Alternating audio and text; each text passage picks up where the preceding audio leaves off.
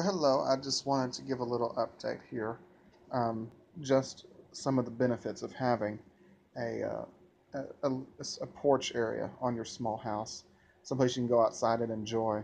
Um, this is obviously it's late at night. You can see Crystal's eyes glowing over there. Um, but I love to come out here late at night. This room was added onto the trailer, as you can see. Here's the trailer. There's the front door. This room was added onto the trailer for what purpose, I don't know. Um, the big screen here that you're seeing above the table was just a, a plexiglass window. So was this one. It has a metal roof, which you can see there, and it has um, concrete floors, which we have carpet on. Sorry, there's my slipper.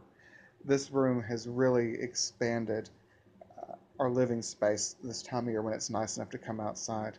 We did install I'll lean back here real quickly. We did install a ceiling fan, um, which is really nice. We have this kind of, which is really blurry because of the light, but we have this chandelier that we really like and found.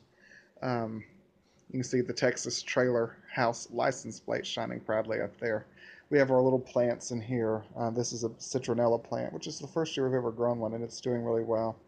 And forgive me, I don't know the name of that plant over there, but just a quick glance at what it's like here at night. Um, I'll show you the sitting area. So there's the house.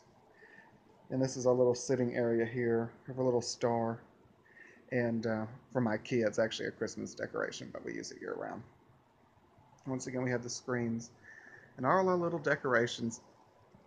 Of course, you can't see the license plate. This little plant here is really about ready to have some flowers. I got it from Stegall's nursery um, out here in Kennedale, and uh, it's a really interesting little plant. He says it's very rare um, and it has these beautiful pink flowers just kind of bloom down. They hang kind of like this. They don't. They're not very perky. Um, little table we built here. This room at night is just so wonderful, y'all. And it is. Uh, we're really proud that we painted it this dark chocolate brown.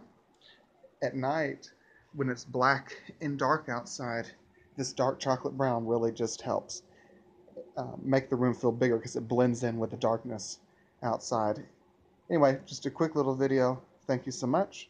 Have a wonderful day. Bye-bye.